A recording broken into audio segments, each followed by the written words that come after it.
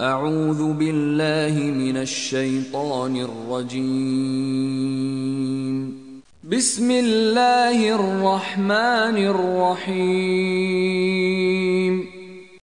حميم. عين.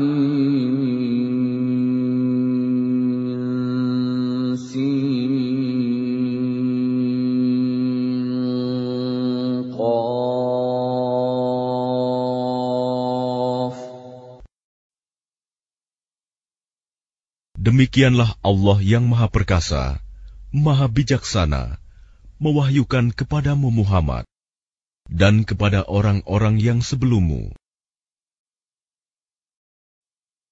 Miliknyalah apa yang ada di langit dan apa yang ada di bumi, dan dialah yang Maha Agung, Maha Besar. Hampir saja langit itu pecah dari sebelah atasnya karena kebesaran Allah, dan malaikat-malaikat bertasbih memuji Tuhannya dan memohonkan ampunan untuk orang yang ada di bumi. Ingatlah, sesungguhnya Allah, dialah yang maha pengampun, maha penyayang. Dan orang-orang yang mengambil pelindung-pelindung selain Allah, Allah mengawasi perbuatan mereka. Adapun engkau Muhammad, bukanlah orang yang diserahi mengawasi mereka.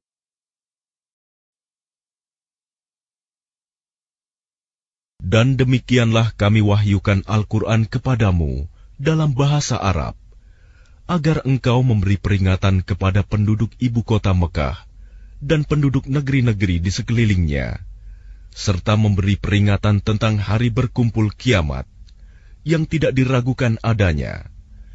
Segolongan masuk surga dan segolongan masuk neraka. Dan sekiranya Allah menghendaki, niscaya Dia jadikan mereka satu umat, tetapi Dia memasukkan orang-orang yang Dia kehendaki ke dalam rahmatnya. Dan orang-orang yang zalim, tidak ada bagi mereka pelindung dan penolong. Atau mereka mengambil pelindung-pelindung selain Dia, padahal Allah, Dialah pelindung yang sebenarnya, dan Dia menghidupkan orang yang mati, dan Dia Maha Kuasa atas segala sesuatu.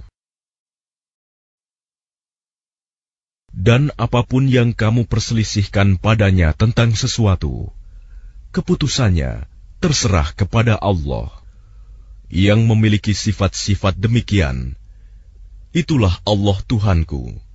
Kepadanya aku bertawakal, dan kepadanya aku kembali. Allah pencipta langit dan bumi. Dia menjadikan bagi kamu pasangan-pasangan dari jenis kamu sendiri, dan dari jenis hewan ternak pasangan-pasangan juga dijadikannya kamu berkembang biak dengan jalan itu. Tidak ada sesuatu pun yang serupa dengan dia, dan dia yang maha mendengar, maha melihat. Miliknyalah perbendaharaan langit dan bumi. Dia melapangkan rizki dan membatasinya bagi siapa yang dia kehendaki. Sungguh, dia maha mengetahui segala sesuatu.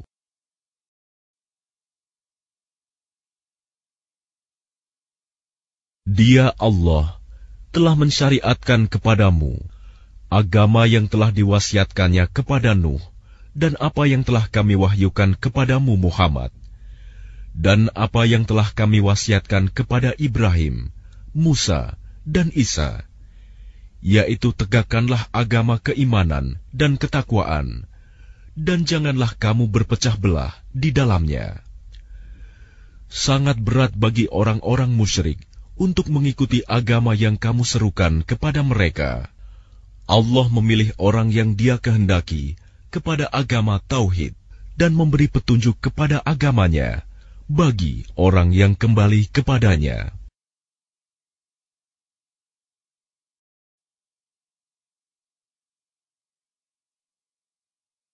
Dan mereka ahli kitab tidak berpecah belah, kecuali setelah datang kepada mereka ilmu kebenaran yang disampaikan oleh para nabi.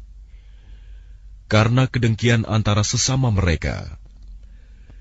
Jika tidaklah karena suatu ketetapan yang telah ada dahulunya dari Tuhanmu untuk menangguhkan azab sampai batas waktu yang ditentukan, pastilah hukuman bagi mereka telah dilaksanakan.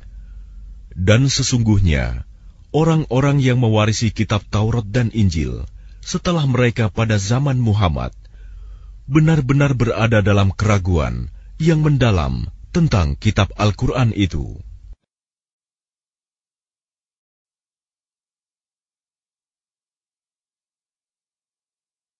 Karena itu, serulah mereka beriman, dan tetaplah beriman dan berdakwah, sebagaimana diperintahkan kepadamu Muhammad dan janganlah mengikuti keinginan mereka, dan katakanlah, Aku beriman kepada kitab yang diturunkan Allah, dan aku diperintahkan agar berlaku adil di antara kamu.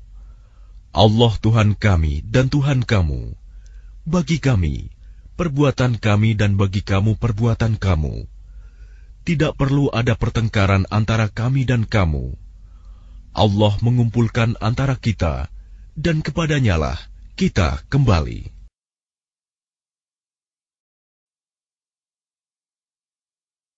Dan orang-orang yang berbantah-bantah tentang agama Allah, setelah agama itu diterima, perbantahan mereka itu sia-sia di sisi Tuhan mereka. Mereka mendapat kemurkaan Allah, dan mereka mendapat azab yang sangat keras. Allah yang menurunkan kitab Al-Quran dengan membawa kebenaran dan neraca keadilan. Dan tahukah kamu, boleh jadi hari kiamat itu sudah dekat. Orang-orang yang tidak percaya adanya hari kiamat meminta agar hari itu segera terjadi, dan orang-orang yang beriman merasa takut kepadanya, dan mereka yakin bahwa kiamat itu adalah benar akan terjadi. Ketahuilah bahwa sesungguhnya orang-orang yang membantah tentang terjadinya kiamat itu benar-benar telah tersesat jauh. Allah Maha Lembut terhadap hamba-hambanya. Dia memberi rizki kepada siapa yang dia kehendaki, dan dia Maha Kuat, Maha Perkasa. Barang siapa menghendaki keuntungan di akhirat, akan kami tambahkan keuntungan itu baginya. Dan barang siapa menghendaki keuntungan di dunia, kami berikan kepadanya sebagian darinya keuntungan dunia, tetapi dia tidak akan mendapat bagian di akhirat. Apakah mereka mempunyai sesembahan selain Allah? Yang menetapkan aturan agama bagi mereka yang tidak diizinkan diridhoi Allah. Dan sekiranya tidak ada ketetapan yang menunda hukuman dari Allah, tentulah hukuman di antara mereka telah dilaksanakan. Dan sungguh, orang-orang zalim itu akan mendapat azab yang sangat pedih.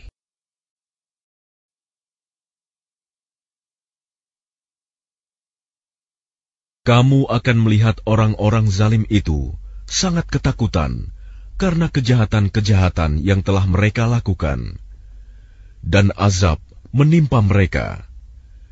Dan orang-orang yang beriman dan mengerjakan kebajikan berada di dalam taman-taman surga. Mereka memperoleh apa yang telah mereka kehendaki di sisi Tuhan. Yang demikian itu adalah karunia yang besar.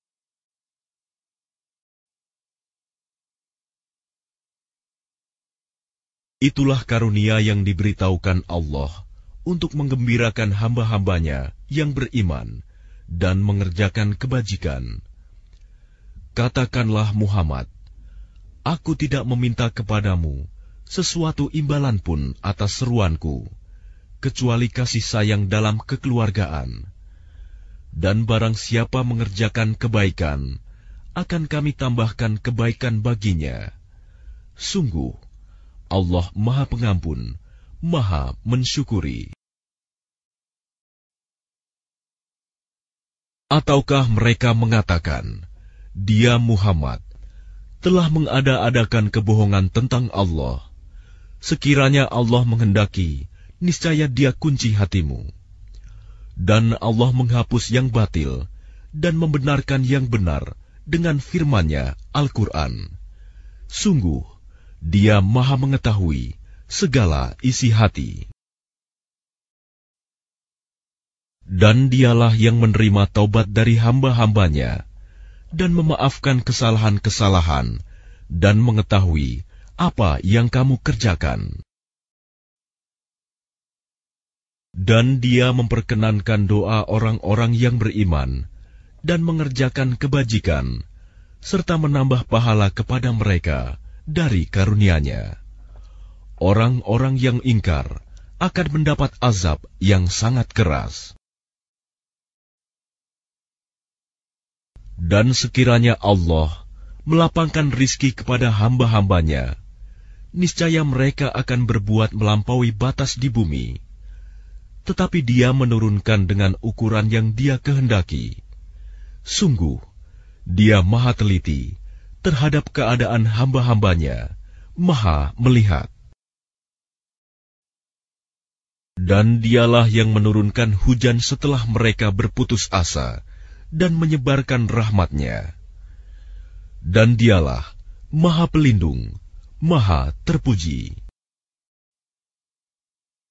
Dan di antara tanda-tanda kebesarannya adalah penciptaan langit dan bumi dan makhluk-makhluk yang melata yang dia sebarkan pada keduanya.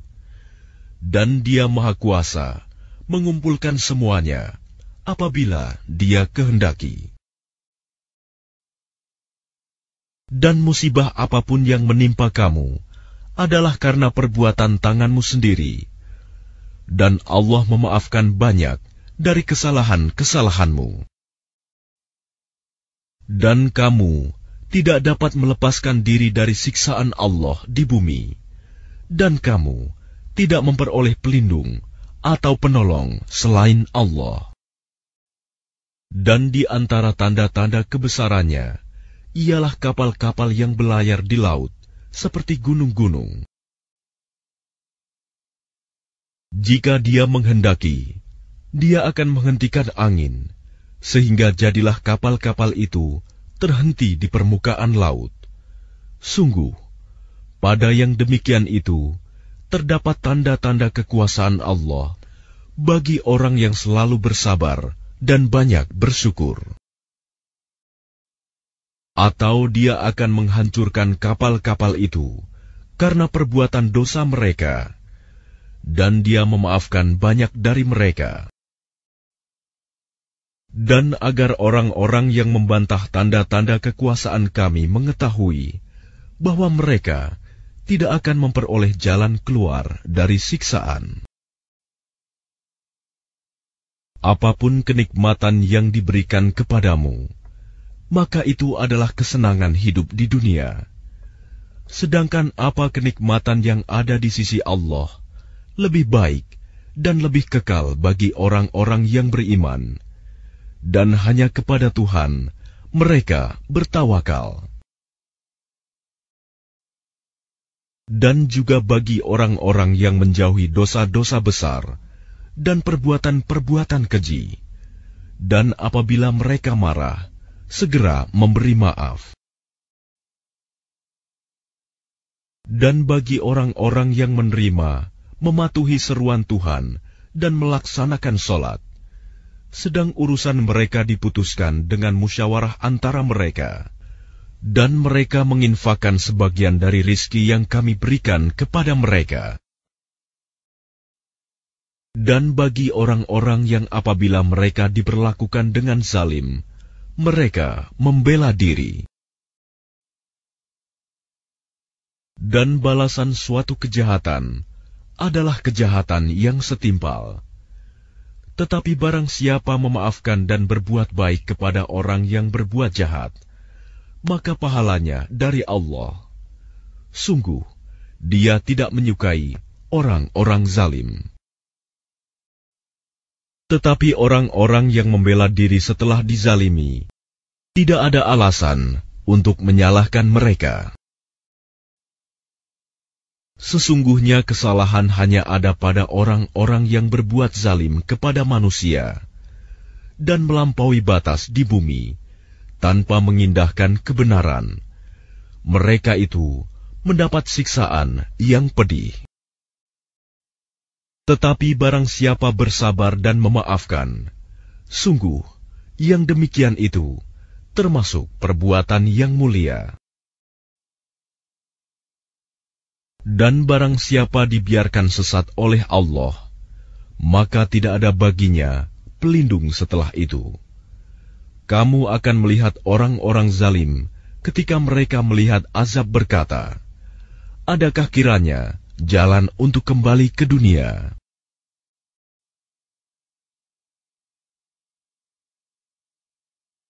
dan kamu akan melihat mereka dihadapkan ke neraka dalam keadaan tertunduk karena merasa hina.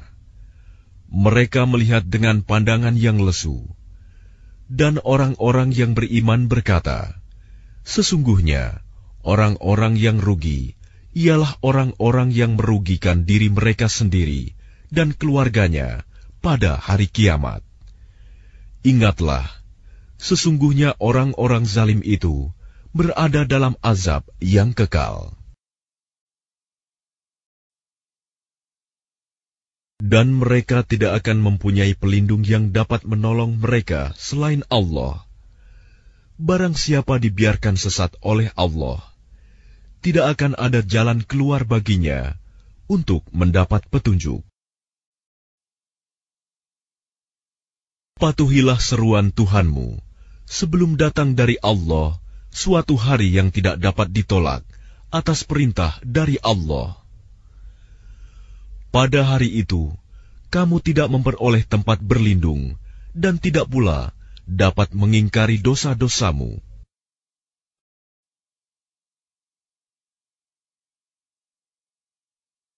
Jika mereka berpaling, maka ingatlah kami tidak mengutus engkau sebagai pengawas bagi mereka. Kewajibanmu tidak lain, hanyalah menyampaikan risalah. Dan sungguh, apabila kami merasakan kepada manusia suatu rahmat dari kami, dia menyambutnya dengan gembira. Tetapi jika mereka ditimpa kesusahan karena perbuatan tangan mereka sendiri, niscaya mereka ingkar. Sungguh, manusia itu sangat ingkar kepada nikmat. Milik Allah lah kerajaan langit dan bumi. Dia menciptakan apa yang Dia kehendaki, memberikan anak perempuan kepada siapa yang Dia kehendaki, dan memberikan anak laki-laki kepada siapa yang Dia kehendaki. Atau dia menganugerahkan jenis laki-laki dan perempuan, dan menjadikan mandul siapa yang dia kehendaki. Dia maha mengetahui, maha kuasa. Dan tidaklah patut bagi seorang manusia bahwa Allah akan berbicara kepadanya, kecuali dengan perantaraan wahyu atau dari belakang tabir atau dengan mengutus utusan malaikat, lalu diwahyukan kepadanya dengan izinnya apa yang dia kehendaki. Sungguh, dia maha tinggi, maha bijaksana.